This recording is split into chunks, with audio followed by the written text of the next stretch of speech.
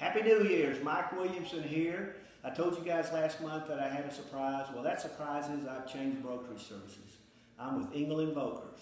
I also talked about interest rates last month and how they will rise. Right now, they're holding steady around 4%.